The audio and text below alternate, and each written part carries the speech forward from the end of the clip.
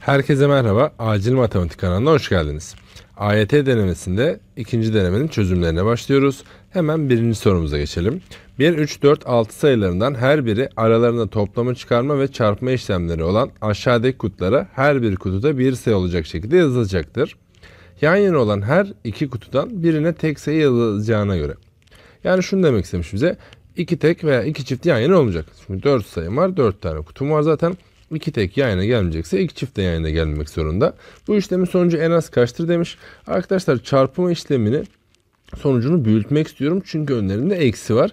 Bu sayede en küçük değeri oluşabilirim. Buraya 6 koydum. Buraya 6 koyduysam buraya 3 koymak zorundayım zaten. Hani tek koyacağım. Büyük olan tek seçtim. E 4 ve 1 de buraya kaldı. 4 artı 1 5.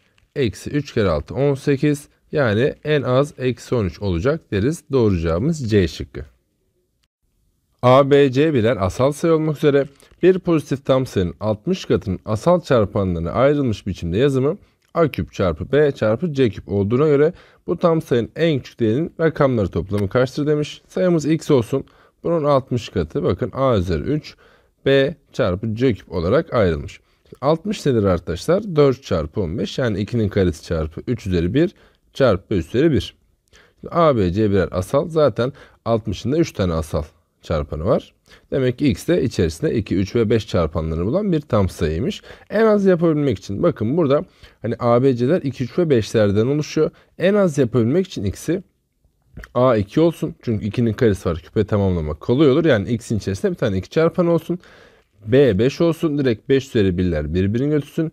C'de 3 kaldı. Yani 3'ün küpü olmak zorunda. Elimde bir tane 3 çarpan olduğu için x'in içerisinde de 3 üzeri 2 çarpanı atayım. Yani x nedir? 2 çarpı 3 üzeri 2'den 54 olacaktır en az. Rakamları toplamda 9 olarak gelecektir.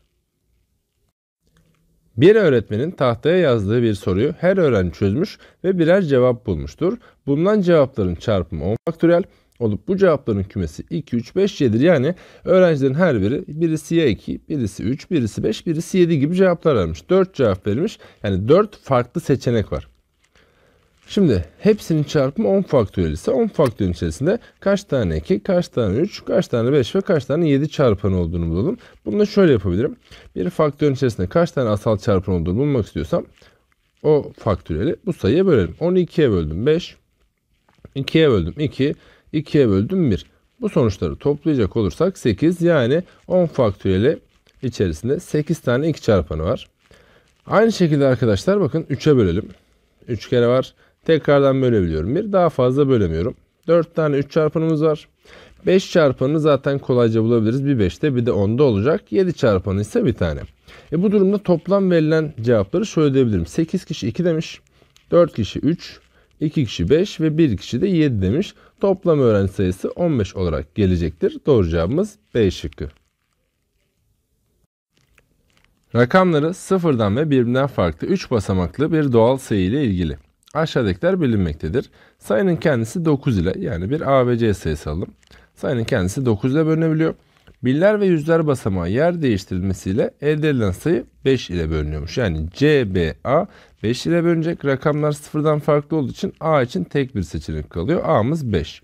Hemen şöyle güncellememizi yapalım. 5 BC oldu sayımız.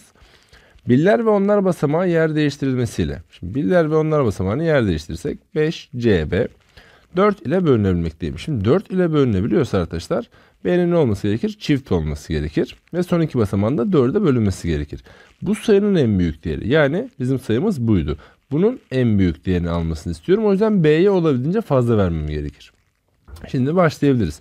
Şimdi ayrıca bu sayı 9 ile bölünebildiği için bakın 5 artı C artı B 9'un katı olmalı. Yani ya C artı B 4 olacak ya da C artı B 13 olacak ki rakamları toplam 18 yapsın. Biz C artı B'yi 13 yapmaya çalışalım en büyük dediği için. Şimdi B yerine 8 yazayım. B yerine 8 yazarsam C yerine 5 yazmak zorundayım. Rakamlar birbirinden farklıydı. Hani farklı dememiş bile olsa zaten en 8 4'e bölünmez. O zaman sıradaki değere geçelim. Ben B yerine 6 yazayım. Çünkü bunun maksimum olmasını istiyorum. O yüzden B'yi en büyükten başlattık. B'ye 6 dersek arkadaşlar ne olacak? Buraya benim 7 demem gerekir. 76 4'e bölünür. 7 artı 6 13 yapar. 9'a da bölünür. Demek ki bu sayı maksimum 567 olacaktır diyoruz. Onlar ve birler basamağı zaten aradaki fark 1'dir. Cevabımız A olarak gelecektir.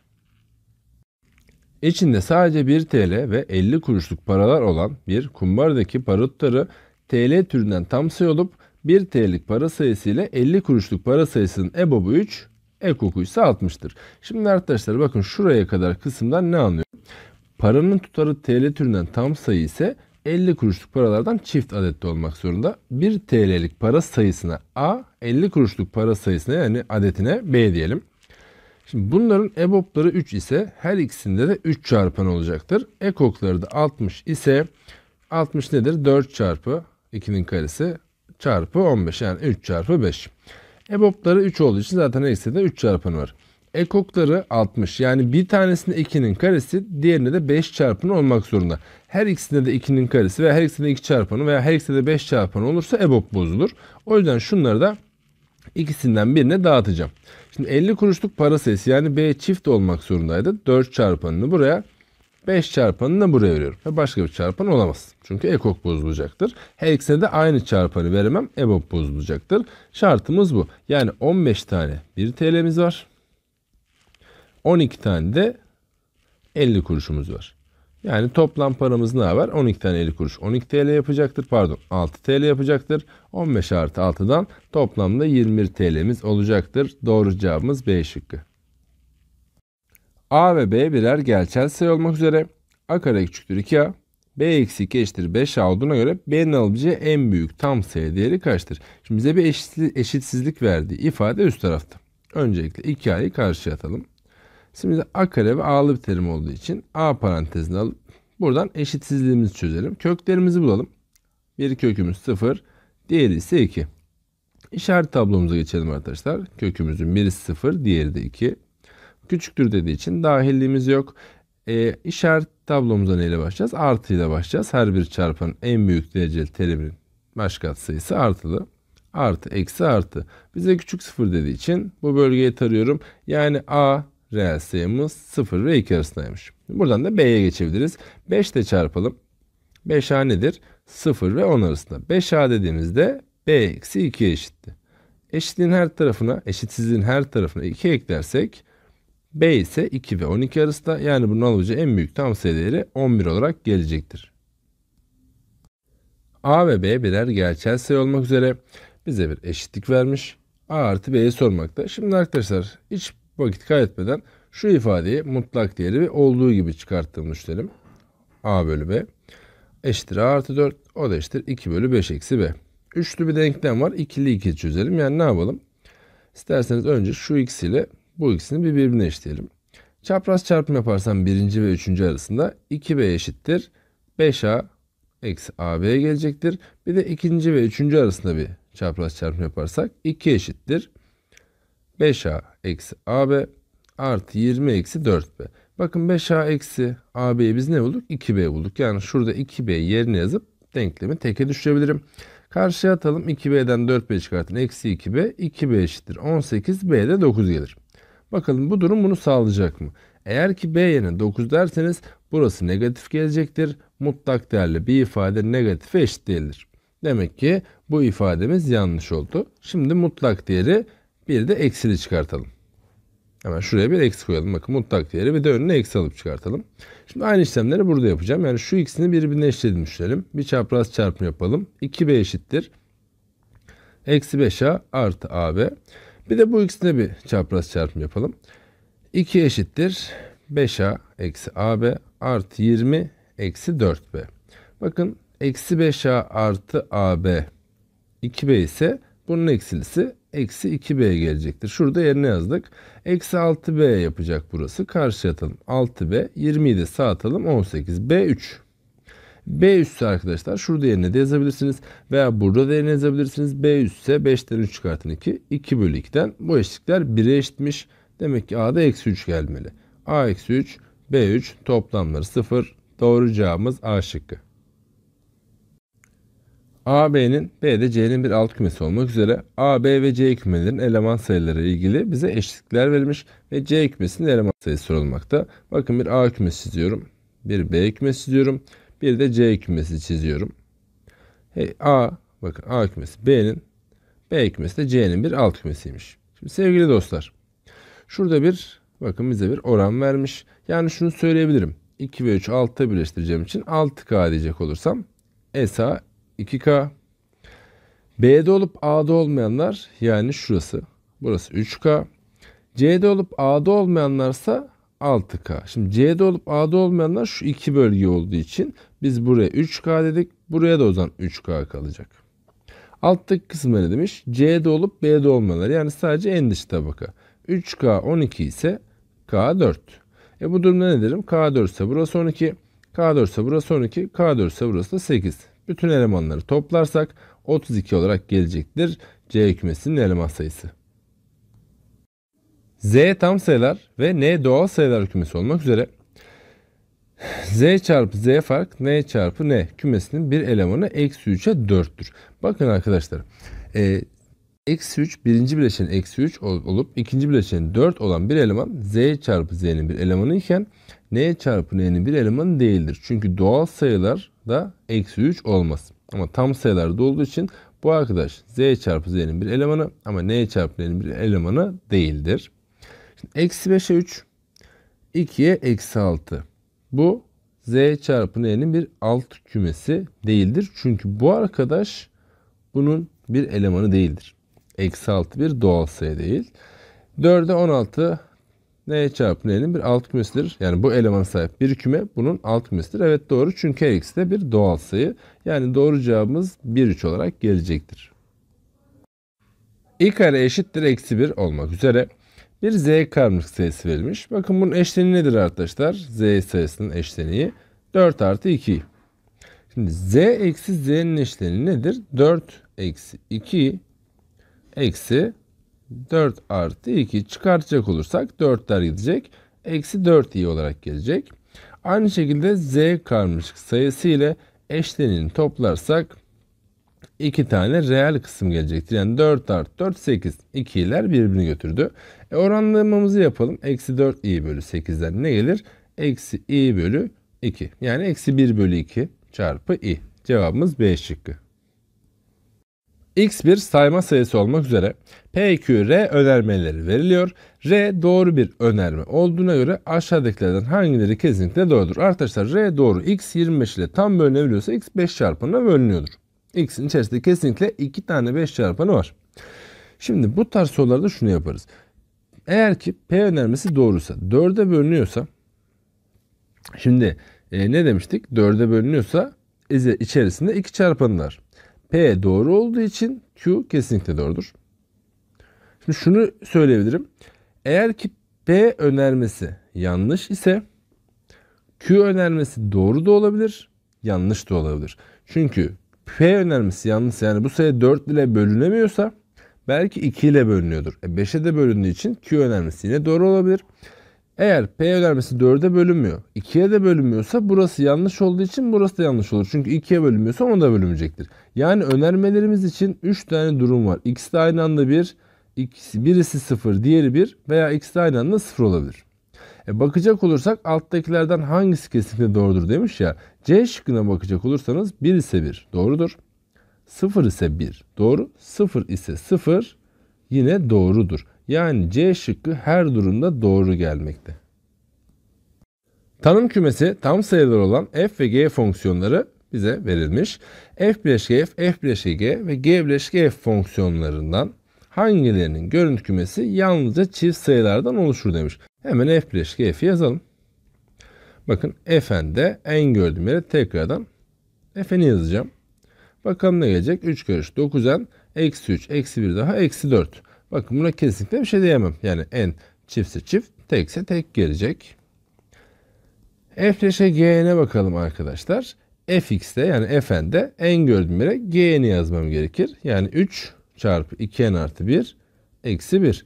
Dağıtalım içeriye 6n artı 3 1 çıkartırsak artı 2. Evet bu kesinlikle 2'dir. Zaten n tanım sayılar kümesi de tanımlı. Çift artı çift çift gelecektir. G bileşik fn'e bakalım e, g n'de n gördüğümüz yere 3n eksi 1 yazacağız. 2 çarpı 3n eksi 1 artı 1. Buradan içeriye dağıtalım. 6n eksi 2 artı 1 daha eksi 1 gelecektir. Maalesef ki n tekse tek çiftse pardon n tekse çift Çiftse tek gelecek. Yani görüntü kümesinde sadece çift sayılar yok. Üçüncü öncülümüz de gitti. Doğru cevabımız B şıkkı. Yalnız 2. 0-3 aralığından 1 ve 2 atılmış bir tanım kümemiz var. Bu tanım kümesinde f, g ve h fonksiyonlarının dik koordinat düzlemindeki grafikleri hangi grafiğin hangi fonksiyona ait olduğu belirtilmeden aşağıda verilmiştir. Bakın bu aralıkta her x gerçel sayı için f g'den g de h'tan küçükmüş. O zaman şunu söyleyebilir miyim arkadaşlar? Hep en alttaki eğri fx'e ait. Sonra ortadaki eğri ortadaki eğri gx'e en üstteki eğrim ise hx'e ait. Şimdi öncüllere bakabilirim. g 1 bölü 2 yani şurada sarı. h 3 bölü 2'den küçüktür. Evet doğru. 3 bölü 2 burada bir yerdedir. Yani f 3 bölü 2 her türlü bir üst kanala taşınırken g 1 bölü 2 her türlü bir alt kanalda kalacaktır. Yani birinci kesinlikle doğrudur. İkinciye bakalım. G 3 bölü 2 yani G 3 bölü 2 ortadaki kanalda takılırken G 5 bölü 2 de aynı kanalda olacağı için buna kesinlik veremiyorum. H1 bölü 2 H1 bölü 2 şurada bir yerdedir. Yani ikinci kanalda veya veya bakın orası tam net söyleyemiyorum. Çünkü 0 ve 1 arasındayken H eğrimiz burada da olabilir, burada da olabilir. H3 bölü 2 H3 bölü 2 de şurada bir yerde. Her türlü en üst kanalı çıkmış H3 bölü 2. O yüzden 3. öncülümüze doğru. Yani doğru cevabımız 1-3 olarak gelecektir. Sıfırdan farklı bir px polinomu x kare eksi 2x eksi 9 ile bölündüğünde elde edilen bölüm ile kalan polinomları birbirine eşit olmaktadır demiş. Bakın hemen önce bölme, algoritmasını yazalım. px'i x kare eksi 2x eksi 9 ile böldüğümde bölüm ile kalan birbirinin aynısıymış. Buradan da şunu yazabiliriz değil mi arkadaşlar? px eşittir x kare eksi 2x eksi 9 çarpı qx artı qx. Bölme algoritmasını kullandık. Yani px'i arkadaşlar bakın qx parantezine alırsak x kare eksi 2x eksi 9 artı 1 olarak gelecektir. Yani qx parantezinde x kare eksi 2x eksi 8 olarak yazabilirim. Bize ne demiş? Px polinomu ifadelerden hangilerine kesinlikle tam bölünür demiş. Şimdi şöyle düşünün. Bunu çarpandan ayırsak sonuçta qx çarpı bu arkadaş yani x kare eksi 2x eksi 8 px'in bir çarpanı. E, x kare eksi 2x eksi 8 de x eksi 4 çarpı x artı 2 diye çarpanlarına ayrılır. Yani px kesinlikle x eksi 4'e bölünecektir x artı 2'ye bir de qx'e bölünür. Ama x artı 3 ve x eksi 1'i bilmiyorum. Çünkü qx'in çarpanlarını bilmiyorum. O yüzden cevabımız yalnız 3 olarak gelecektir. px ve qx birer polinom olmak üzere x çarpı px eksi 1 artı qx eşittir x kare eksi 6 eşitliği veriliyor. px polinomunun x eksi 2 ile bölümden kalan 1. Bu altını çizdiğimiz cümle ne demek arkadaşlar? p2 eşittir 1 demektir. Çünkü herhangi bir polinomu mesela x eksi 2 ile doğrusal bir ifadeye bölümden kalanı nasıl buluyorduk? Buraya sıfır yapan değeri şuradaki x yerine yazıyorduk ve bize kalanı veriyordu. Şimdi öncülere geçebiliriz. Px polinomu sabit terim yani P0. Qx polinomunun katsayılar toplamı eksi 5'tir. Yani x yerine ben burada 1 yazacak olursam arkadaşlar bakın x yerine 1 yazacak olursam 1 çarpı P0 artı Q1 eksi 5 olarak gelecektir. Bu da öncülü doğru yapar. Sabit terimimiz katsayılar toplamı eksi 5 geldi.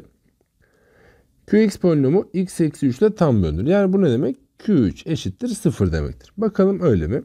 x yerine 3 yazacak olursak burada 3 çarpı P2 artı Q3 eşittir 3 dersek karesi 9 6 çıkardık 3. P2 neydi? 1'di arkadaşlar. E P2 1 ise 3 kere 1 burası 3 yapar. Q3'e de 0 kalır. Yani doğru. Qx polinomunun sabit terimi eksi 6'tır. Yani Q0 eksi 6 mı ona bakacağız. X yerine 0 derseniz burası gider. Q0 eksi 6 olarak gelir. Üçüncü öncülümüze doğru yani doğru cevabımız 1, 2 ve 3. P asal sayı olmak üzere x kare eksi px eksi 24 eşittir 0 denkleminin kökleri birer tam sayıdır. Küçük olan kök en az kaçtır? Kökün birisi x1 diğeri de x2 olsun arkadaşlar. Kökler toplamı x1 artı x2 eksi b bölü a'dan p gelecektir. Unutmayın p asal. Kökler çarpımı x1 çarpı x2 c bölü a'dan eksi 24 gelecektir. Şimdi bize küçük olan kök en az kaçtır diyor. Hemen şıklardan deneyebilirsin. Kökün birisi eksi 8 ise diğerinin 3 olması gerekir. Kökler toplamı eksi 5. Asal değil. Diyelim ki diğer kök eksi 6 ise eksi 6 çarpı 4 eksi 24. Kökler toplam eksi 2 geldi. Yani B şıkkı da gitti. Eksi 2 asal değil. Diyelim ki küçük olan kök eksi 4'tü. O halde diğer kökün 6 olması gerekir. Toplarsanız 2 asal geldi. Demek ki en küçük kök en az eksi 4 olabilmekte. Aşağıdaki birim kareli zeminde verilen A noktasının koordinatları 3'e 2'dir. Bu ne demek arkadaşlar? Her bir karenin uzunluğu 1. Yani bildiğimiz birim kareli bir koordinat sistemi. Ömer başka bir birim kareli zemine bir parabol çizmiştir. Çizdiği parabolde eksenleri silince aşağıdaki görüntü oluşmuştur. B noktasının koordinatları 0'a 4 ise yani bu ne demek arkadaşlar? Y ekseni B'nin olduğu doğrultuda X ekseni ise bunun 4 birim altından geçmeli. Yani X ekseni de burada. Şimdi böyle düşünecek olursak ekstra noktam 0'a 4. Kökün birisi eksi 2, birisi ise 1, 2, 3, 4, 5, 6. Buradan bize ne demiş? Çizdiği paraboldeki tepe noktasının ordinatı yani K değerini istemekte. Pekala hemen hızlı bir şekilde kökleri bilinen parabolün denklemini yazalım. Kökün birisi eksi 2, diğeri 6. Ekstra nokta olarak bize 0'a 4 noktası verilmiş. Yani y yerine 4, x yerine 0 derseniz baş katsayı bulabilirsiniz. Yani eksi 12. 4 bölü eksi 12 a'mız eksi 1 bölü 3 gelecek. Parabolü bir daha yazalım. fx eşittir. Eksi 1 bölü 3 çarpı x artı 2 x eksi 6. Şimdi bize k'yı sormuş. K'yı sorduğu için r'yi bulmam gerekir. R'yi de direkt kökler toplamı bölü 2'den yapabilirsiniz. Yani eksi 2, 6, 4. 2'ye bölerseniz r'miz 2 olarak gelecektir. k eşittir f2 yerine yazalım. Eksi 1 bölü 3 çarpı 2 dersek 4, 2 dersek eksi 4. Yani bu parabolün k değeri 16 bölü 3 olarak gelecektir. A, B ve C birbirinden farklı birer rakam olmak üzere eşitliği veriliyor. A'nın alacağı en büyük tam sayı nedir demiş. Şimdi arkadaşlar logaritma ve bunlar birer rakam. O zaman hiç düşünmeden B yerine 2, C yerine 8 yazarsam maksimum tam sayıya ulaşabilirim. Çünkü buraya 3'e 9 dersem 2, 2'ye 4 dersem 2 gelecektir. Hani 4'e 4 dersem böyle gittikçe bakın küçülüyor. Yani buradaki mesafeyi olabildiğince açmak istiyorum. Ve tam sayı gelmesi gerekiyor. B'ye 2, C'ye 8 verdim. E, en büyük olsun dediği için de A'ya da 9 verelim. 9 çarpı logaritma 2 tabanında 8. 9 çarpı logaritma 8 nedir? 2'nin küpüdür. Yani buradan 3 gelecek. 9 çarpı 3'ten ifademizde en fazla 27 olarak gelecektir. Logaritma 2 tabanında 3 a, 2 tabanında 5 b ise ln 75 bölü ln 0,5 ifadesinin a ve b türünden eşit nedir demiş. Şimdi ortak taban üzerinde bir hatırlayalım. a tabanında b'yi ben nasıl yazabilirim? b'yi paya tabanında payda yazıp buraya istediğim sayı yazabilirim. Aynısını geri dönüş olarak da yapabilirim arkadaşlar. Tabanları aynı olan iki logaritmayı birbirine bölüyorsa siz bunları geri birleştirebilirsiniz. Veya tabanları durduk yere aynı sayıyla değiştirebilirsiniz. Yani ln e'yi direkt biz logaritma 2 tabanında 75 logaritma 2 tabanında 0,5 olarak yazabiliriz. Çünkü buraya c değil de d diye yazabilirim. Herhangi bir şey değişmiyor. Pekala şimdi biz bunu iki tabanda yaptıysak 75 nedir arkadaşlar? 25 çarpı 3 yani 5'in karesi çarpı 3. 0,5 nedir? 5 bölü 10 1 bölü 2 yani 2 üzeri eksi 1. Paydadan eksi 1 geldi. Hani çarpma ise toplamı olarak ayıralım. Logaritma 2 tabanında 5'in karesi artı logaritma 2 tabanında 3. Şu kuvveti başa geçirelim. 2 çarpı logaritma 2 tabanında 5 artı logaritma 2 tabanında 3. Bir de böyle eksi birimiz var. Şimdi bu eksi bir artık başa alalım. 2 tabanında 5 nedir sevgili arkadaşlar? B. 2 tabanında 3 nedir? A. Yani bizim doğru cevabımız eksi 2B eksi A olarak gelecektir. Logaritma 4 tabanında x eksi 3 cm uzunluğundaki bir kalem ile bir cetvel yan yana getirildiğinde aşağıdaki görüntü oluşuyor. X kaç farklı tam sayı değeri alabilir? Şimdi cetvel 1 cm'den uzun, ve 2 santimetreden kısa. Şimdi bu tarz bir ifade logaritma evet araya sıkıştıysa kuvveti her ikisi için de tepeleyebilirsiniz. Yani 4 üzeri 1 küçüktür 4 üzeri 2 deyip bu iç kısmını da buraya sıkıştırabiliriz. Eğer ki bu arkadaş bir basit kesir azalan olsaydı bu işaretler yön değiştirecekti kuvveti attıktan sonra. Ama birden büyük olduğu için direkt aynı şekilde arada kaldı. Her tarafa 3 eklersek 7 küçüktür x. 4'ün karesi 16. 3 eklersek 19. Burada da 8'den 18'e kadar 11 farklı doğal sayı değeri alabilir. Genel terimi a eşittir çiftse kendisi tekse eksi 1 şeklinde tanımlanan a n'lisinin ilk 40 terimi. Bakın arkadaşlar hemen hızlı bir şekilde ilk 40 terim toplamını sormuş ya bu ne ne de geometrik bir dizi değil. Bir kuralımız yok. Özel tanımlı bir dizi. A1 nedir? Tekse eksi 1 çift ise kendisi. A3 nedir? Eksi 1. A4 nedir? 4. A5 nedir? Eksi 1. A6 nedir? 6. Yani her ardışık iki terimi topladığında bakın buradan 1, buradan 3, buradan 5 gelmekte. A39 nedir arkadaşlar? Eksi 1. A40 nedir? 40. Toplarsam buradan 39 gelecek. Yani 1'den 39'a kadar olan ardışık tek sayıların toplamı neydi bu? n kareydi. Formülümüz nasıldı? 1 artı 3 artı 5 artı 2n eksi 1. Ardışık tek sayıların toplamı n kareydi. 39 kaçıncı tek sayıdır? 20. Yani n'imiz 20 olacak. 20'nin karesi toplamı 400 olarak gelecektir. AN ilk terim 1 olan terimleri birbirinden farklı bir aritmetik dizi. BN ilk terim 1 olan terimleri birbirinden farklı bir geometrik dizidir. A3, B2, A4'te B3 eşit olduğuna göre AN dizisinin ortak farkı. Şimdi arkadaşlar şöyle yapalım. A'nın ilk terim 1 ve ortak farkı A olsun. Yani ikinci terim 1 artı A, sonra 1 artı 2A, 1 artı 3A diye gidecek. B'nin ilk terim 1 ve ortak çarpanı B olsun. B, B kare, B küp diye gidecek. A3 B2'ye eşitmiş. Yani 1 artı 2A eşittir B. A4 1 artı 3A B3'e eşit yani B kareye. E ben B gördüğüm yere 1 artı 2A yazayım burada. 1 artı 3A eşittir. 1 artı 2A'nın karesi. 4A kare artı 4A artı 1. 1 artı 3A'yı da eşitliğin sağ tarafına atacak olursak bakın şöyle bir denklem gelecek. 4A kare artı A. A parantezden alırsak buradan 4A artı 1. Yani A ya 0 ya da eksi 1 bölü 4 olmak zorunda. A eğer 0 olursa terimleri birbirinden farklı olmaz. Demek ki A eksi 1 bölü 4 yani A endisinin ortak farkı eksi 1 bölü 4 olarak gelecektir. Bir iş yerinde Cem, Can ve Ada isimli 3 çalışan vardır. Bu iş yerinin sahibi çalışanların vaktinde işe gelip gelmediğini haftalık olarak hazırladığı bir çizelgeyle takip etmektedir. Bu iş yeri sadece hafta içi günlerinde açıktır ve örnek bir çizelge aşağıdaki gibidir.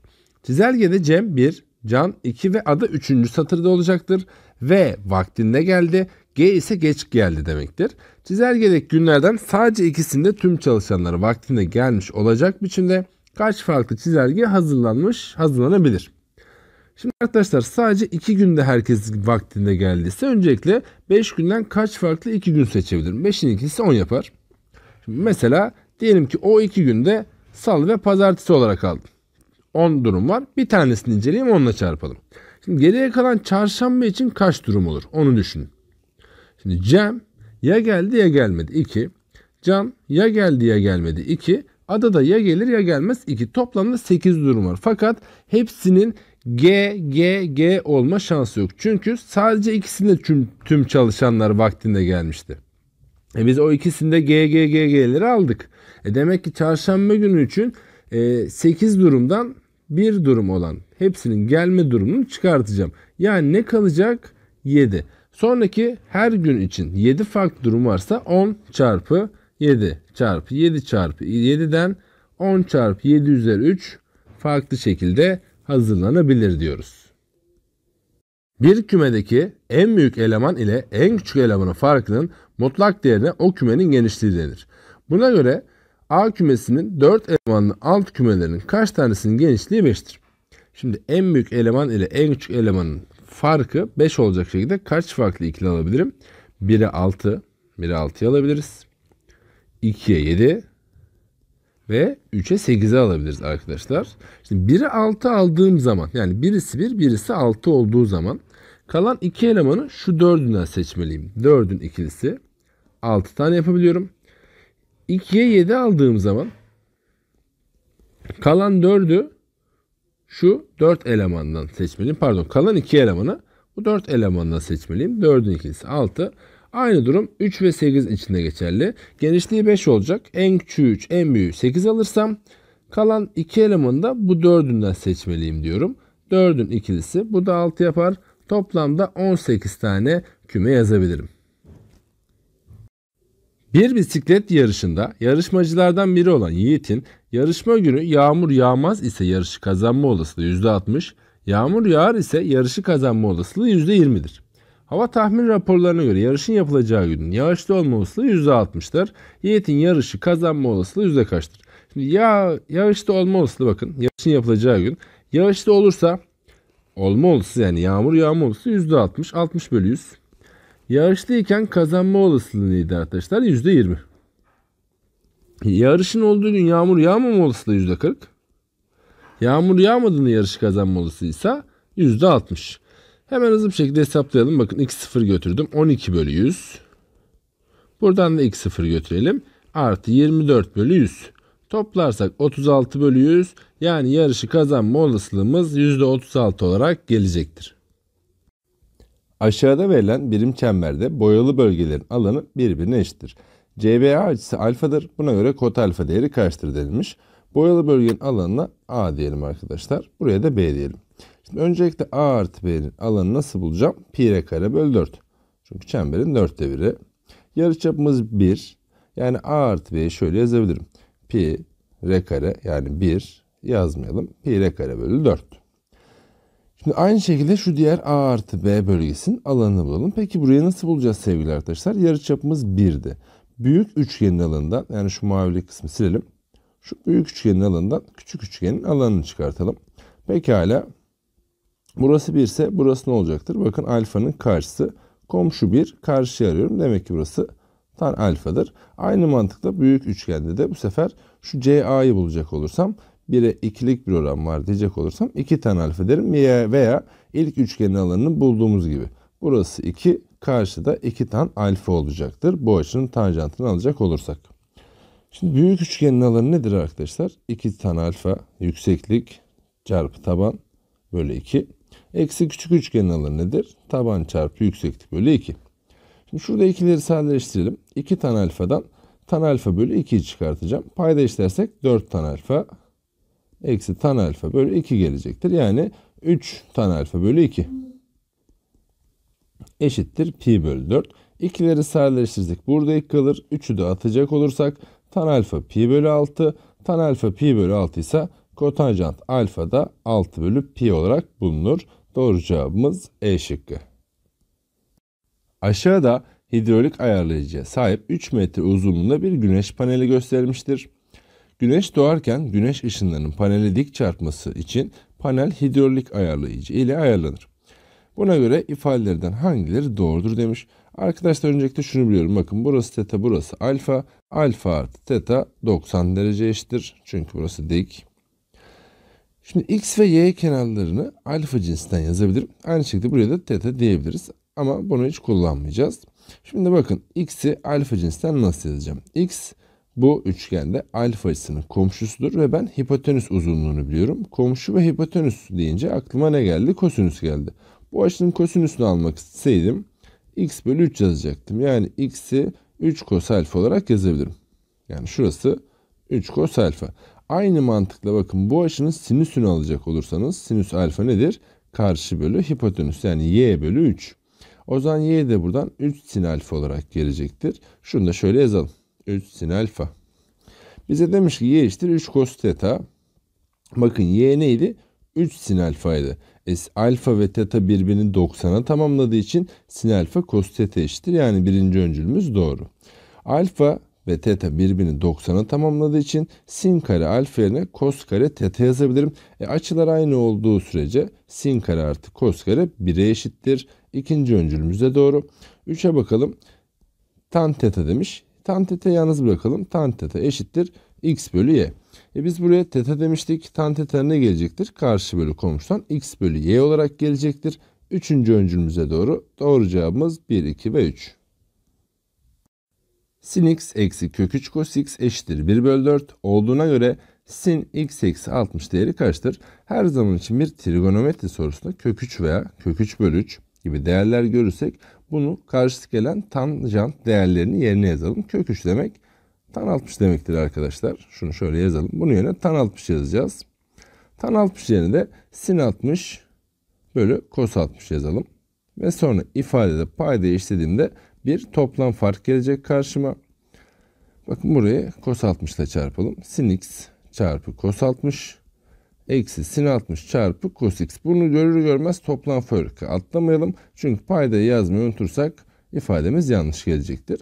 Bakın sin cos sin cos paylaşımcı. Yani burası sinüs açılımıdır. Sinüs x eksi 60 bölü cos 60 da nedir? 1 bölü 2'dir. Hani bunu çapraz çarpma olarak atacağız. Ne geldi? 1 bölü 8 bizden istenilen sinüs x eksi 60 1 bölü 8 olarak geldi. Doğru cevabımız E şıkkı. Aşağıdaki eş dikdörtgenlerden oluşan zeminde y eşittir 2 cos kare x artı 3 eğrisi çizilmiştir. Buna göre aynı zemine y eşittir cos 2x eğrisi de çizildiğinde iki yerinin A absisli noktaları arasındaki uzaklık kaç birimdir?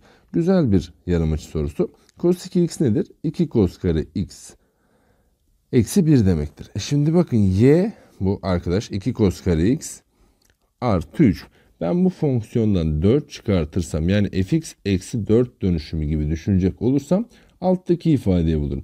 fx eksi 4 demek ne demekti? y ekseninde 4 birim aşağı doğru ötelemek demekti. Yani bu arkadaş 4 birim aşağı gelecek. O zaman aynı apsis noktada e, y ne oluyorsa bakın 4'e gidiyorsa 4 eksin tabii 4'e gidiyor mu bilmiyorum. O zaman aynı apsis nokta 4 birim aşağı gelecektir derim. Yani cos 2x de buradan geçecek diyebiliriz. A apsis nokta arasındaki uzaklık 4 olarak gelecektir. Cos 2x eksi sin 4x eşittir 0 denklemini sağlayan en küçük pozitif kök aşağıdakilerden hangisidir demiş. Şimdi burada sin 4x'i karşıya atıp sin 4x yerine cos 90 eksi 4x yazıp cos coslu bir denklem çözebilirsiniz. Veya arkadaşlar hani açılar birbirinin katı ya birbirinin katı olan açılar varsa yarım açı formülü de uygulayabilirsiniz. Sonrasında yapacağımız işlem ise cos 2x parantezine alacağız. Buradan bir buradan da 2 sin 2x gelecektir. İki tane ifadenin çarpımı sıfırsa ya ilk çarpan sıfırdır ya da ikinci çarpan sıfırdır. Yani sin 2x ne olması gerekir? 1 bölü 2. Sinüsün 1 bölü 2 olduğu yerine en küçük pozitif kök nedir demiş. O yüzden 4 tane denklem yazmayacağım. Yani bunun için 2, bunun için 2 tane denklem yazmam gerekiyordu. Direkt buradan yapabilirim. Sinüs nerede 1 bölü 2 olur? 30'da. 2x 30 ise x 15 gelir. Yani bu da pi bölü 12 demektir. Aynı şekilde bakın buradan 3 şık gitti.